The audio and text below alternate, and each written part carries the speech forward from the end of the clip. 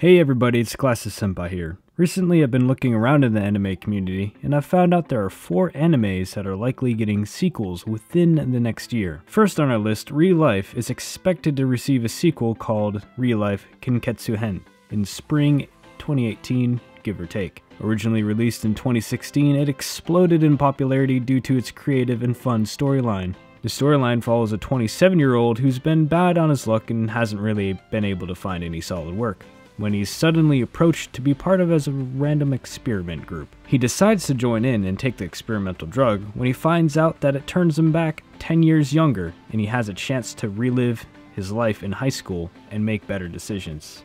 Second on our list, and also one of my all time favorites, Code Geass.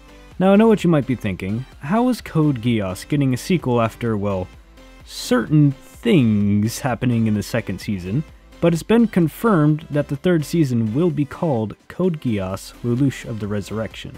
It will take place after the events of Lelouch of the Rebellion R2, we don't have an exact release date yet, but I anticipate that they're going to release it sometime this winter in 2017 or the spring 2018 season, given that they don't have any production issues. We all know and love our favorite crazy time traveling scientist. That's right, Steins Gate is getting a new season, one of the greatest time traveling animes the industry has seen in recent history.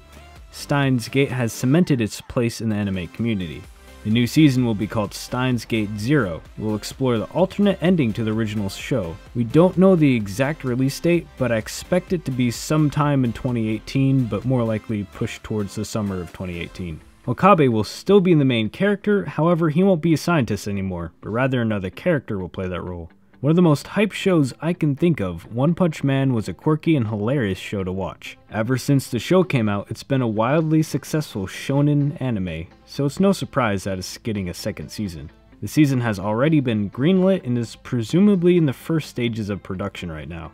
Whether or not Saitama will finally face a foe that can withstand his punch is up in the air. The second season is slated for a 2018 release. So what anime do you want to see get a sequel? Leave your thoughts and comments down below. Thank you for watching, and be sure to subscribe for more content. I'm Glasses Senpai, and I'll see you guys in the next video.